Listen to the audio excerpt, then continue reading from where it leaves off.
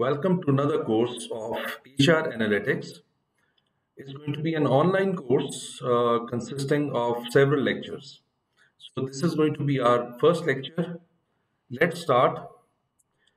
Uh, first, we are going to discuss how we are going to go about this course. So you can say the teaching methodology of this course. So there are going to be three things. We'll start with the topic understanding and then we will perform the analytics using Excel and then we will take the decision based on our analysis. So these three things are important in this order because uh, if you don't understand the topic or the concept, it is not going to be possible for you to do the analysis. And why do we do analysis is to make certain HR related decisions. This is how we are going to go about in this course. All these three things are going to be important. Why we are using Excel is because this is uh, a software which is readily available and it is available to most of the people throughout the world. What I'll do is that whatever we'll be uh, performing in the part of analytics, I'll share this Excel file in the description and then you can download this file and you can use it for your uh, analytics. So let's just look at this data and see what kind of uh, data we'll be using. So this is going to be our data sheet that we'll be using throughout this course.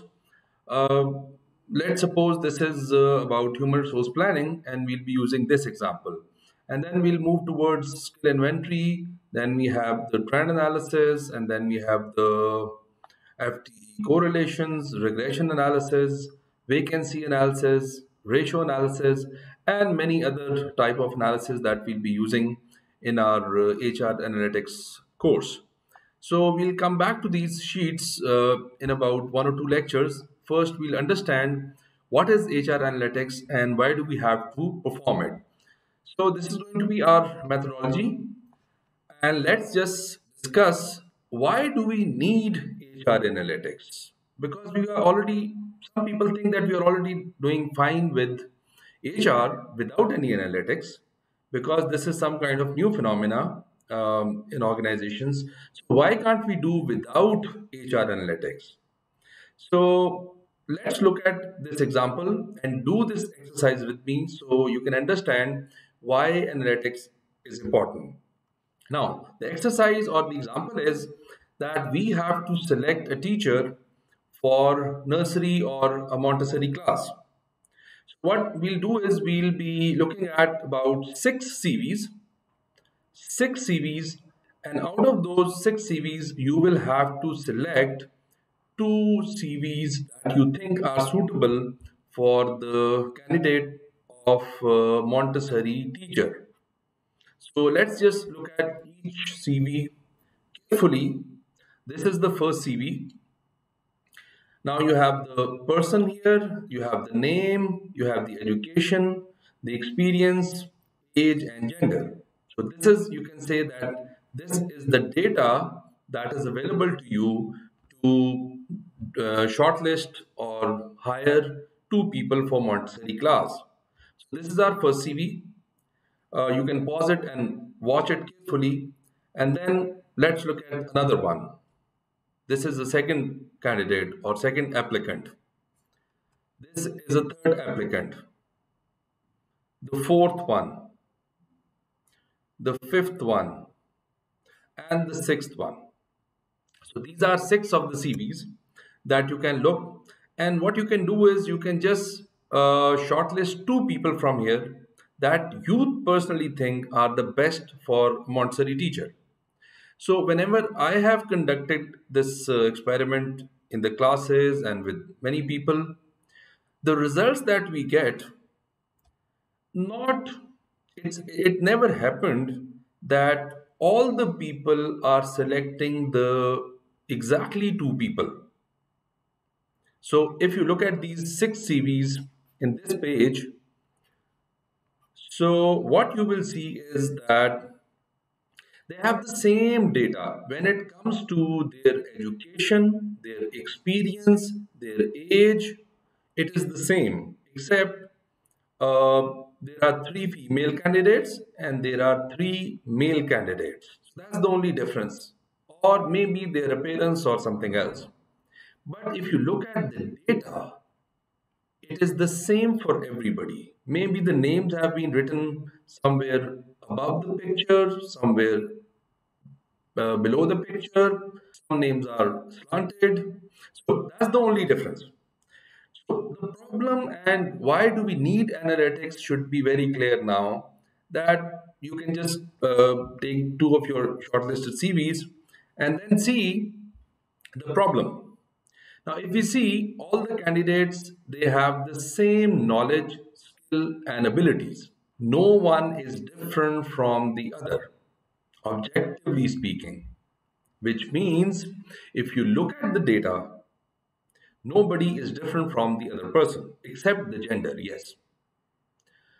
But the need of analytics come because as human beings, at times we miss the objective assessment and we have some biases or we go to do subjective assessment, which is based on things which are not objective or things which are not based on uh, tangible, quantitative, evidence-based data. So the problem is, without knowing, we make some kind of biases or errors in our decision making, even when we are using the same data. And what actually uh, happens is that we go with a bad decision of HR. I'm not saying that HR analytics is always going to give you the best decision, but wherever data will be applied, you need to apply certain type of analytics. Otherwise if you just leave it to human beings they will make bad decisions. So that is you can say the need of the hr analytics uh, that we are going to discuss in our lectures now let's discuss or define the hr analytics there might be many definitions but this is the simplest and the easiest to understand hr analytics is the process so it's a process. We will talk about how this process uh, is done in our second lecture. It's a process of collecting and analyzing human resources related data in order to improve organizational decision making. So a few things are important. First of all, it is going to be a process and process of collecting data, analyzing it, but the main reason is going to be improved decision making.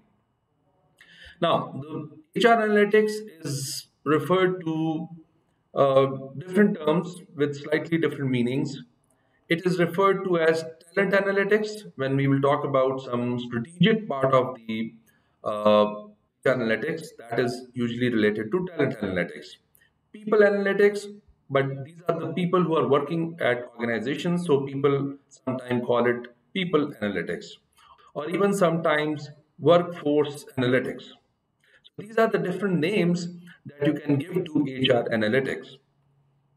Now let's just discuss that why it is needed. So most organizations are already doing fine without any analytics. But the problem is that these organizations, they have a lot of data some of them do not have any data, but most of them have a lot of data that they routinely are collecting. For example, how many people are absent, how many people are present, how many uh, people are working, what kind of people you hire, how much time does it take to hire people. So all that data is available in some, some form.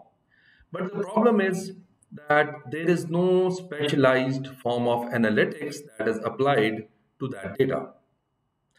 So the organizations, they, they do not have this idea why their absenteeism is increasing, why their turnover is increasing, why people are not performing, why their trainings are not working as uh, perceived.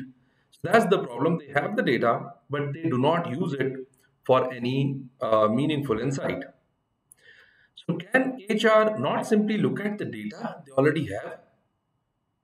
They can, but the problem is the raw data does not give you any useful insight because if you look at a raw data, it is just as you're looking at a large spreadsheet like an Excel sheet or SPSS sheet or any other sheet, which is full of numbers and words, they don't make any sense. You can't make any decision based on that data unless you analyze it. Without organizing or the direction of the uh, data or data analytics, it does not give you any meaning. It appears to be meaningless. Now here we can also do the difference between data and information. Data is a raw form of numbers or words, but when we convert it, do the analytics, we convert it into some kind of information.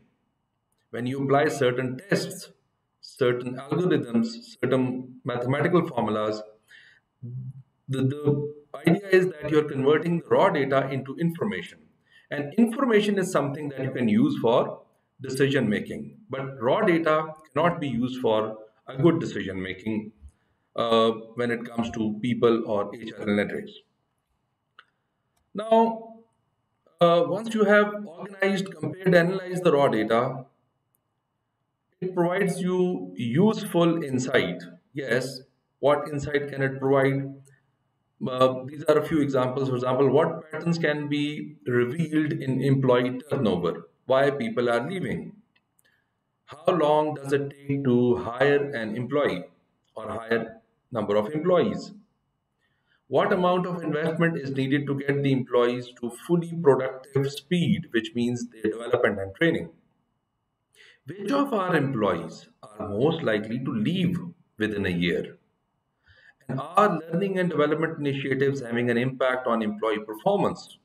So these and in addition to these, many other questions can be easily answered if you have the right data and you can uh, apply the right analytics. Now let's just look at the pros and cons of uh, analytics. We'll discuss a few things. So first of all, pros. Good things about HR analytics it provides you more accurate decision making uh, criteria, which reduces the need for organizations to rely on intuition or guesswork, which we just talked about when we were selecting the CVs.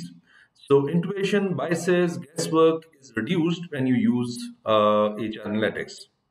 Secondly, it also gives you strategies to improve retention for example, if there's a problem of retention of employees, you can do certain analysis and then you can know that how and when and why you can retain people and why people leave the organization. Based on certain analyses, you can also uh, improve your hiring and recruitment practices. We will talk about these practices. And then obviously you will be able to see the trends and patterns of uh, HR data at the same time, we also have some problems or some issues with HR analytics or cons of HR analytics. Uh, many HR departments currently lack the statistical and analytical skill set. The HR managers sometimes are good. They have a lot of knowledge about HR and the functional area. But when it comes to data analysis, they lack these skill sets, which is why they cannot perform the HR analytics. That's, that's a problem. Different management and reporting systems. For example, if one company is using multiple HRISs, somebody is managing data on one uh, HRIS, the other person or other department is managing data on some other sheet or something. So that's a problem because then you cannot aggregate and compare the data. Uh, one more thing which is going to be a problem when it comes to HR analytics is the quality of data. It is very important how and what kind of data you're collecting. Garbage in, garbage out uh, can be the right words. So quality of data is also an issue. And then organizations also need access to good quality analytics and reporting softwares that can utilize the data which is collected by the HR people sometimes you have a very good uh, collection of data system. But the problem is when it comes to reporting, for example, making graphs, making tables, coming up with answers. So you don't have those expertise or sometimes you don't have those good softwares. Some more things is the ethical issues, for example, because if you're using data related to employees, employees are people and they have their um, data, they have their personal lives, maybe you have their medical records, maybe you have their absenteeism record, maybe you have their behavioral issue records. That can lead to some ethical issues. So, whenever you are analyzing the data, you need to be very careful about these ethical issues. And then uh, the, the problem is that people who are analyzing that data should be good in analytics because it is what kind of questions you're asking from the data. If you're using any software, let's say Excel or SPSS or Stata or any other software for analytics, the problem is that uh, if you do not know what to find and how to find it, and what kind of questions you're asking from the data, what kind of algorithms you are applying, that can lead to uh, poor outcomes. So it's not going to be helpful. In fact, it is going to give you or lead you towards bad decision making. Now, this is going to be end of our first lecture. In the lecture two, we will talk about the process of HR analytics that we talked about in the definition of HR analytics. So how this process uh, works, what are the four steps? The four steps we can call them CIMA or CMAA. We will talk about this in the second lecture. Thank you very much for now.